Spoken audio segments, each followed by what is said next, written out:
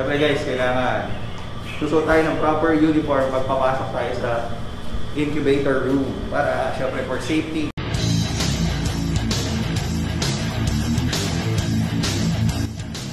What's up, Bully Games? So for today's video, pupunta tayo ngayon sa Whelp City. At magkita-kita tayo doon mamaya. Siyempre, bagong renovate ang kanilang facility and so excited to see what they have to offer. Thank you and see you. What's up, Bully Games? So siyempre, nandito nga tayo as promise.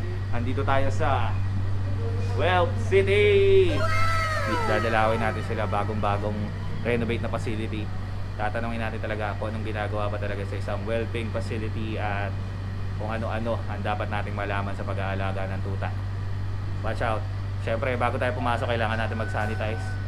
So, mamaya magsasanitize tayo ng ating mga kamay at paa. Saka pati mukha. Joke lang.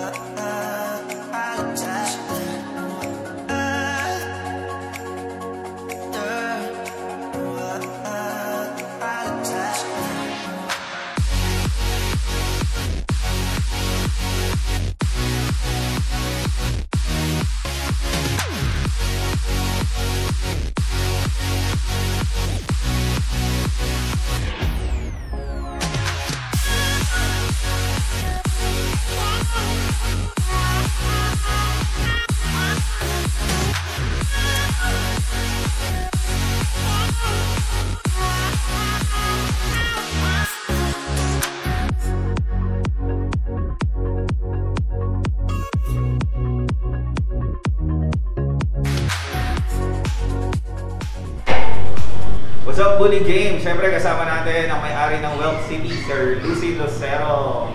What up? So, as promised, bibigyan tayo ng tour ni Sir dito sa kanyang facility. Newly renovated. Uh, napakaganda.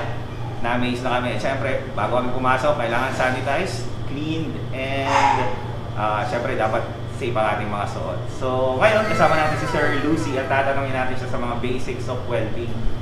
So, sa mga di nakakaalam, ano ba ang well-being? Yeah, um, well-being, um, yun yung uh, uh, immediate care for newborn pups and them. Uh, we provide that here in Gulf City. And um, our goal is uh, to provide talaga yung um, pinaka-optimal na care na mapoprovide natin sa dam at newly born pups na pang at par at world-class market. So, medyo malaking task pero we're striving to do that. At syempre sir, how long naman uh, ang well-being stage ng isang tuta o ng isang puppy? Usually, ang whelping ng newborn is tumatagal ng one and a half month to two months. Uh, depending sa galing ng puppy mag-adapt at mag-switch from milk to solid food. Pero as we always say to our clients, ang pag-aalaga talaga ng whelping or pag pag-iintindi ng whelping is usually dapat nag-start yan sa pagbubuntis pa lang ng dam. Providing all necessary um, uh, vitamins, tsaka alaga doon sa dam. Dapat doon pa lang nabibigay na sa, sa, sa dam para paglabas ng mga puppies, talagang healthy na sila. Okay. And Siyempre sir, meron naman tayong mga breeders dyan na, eh, kami na lang mag-weber. Ano ba yung advantage of uh, availing Whelp City's uh, services and facility? Yeah, um, yeah, marami tayong mga kaibigang breeders. Of course, doon tayo nag-umpisa, doon talaga tayo, nagbe-breed tayo ng aso.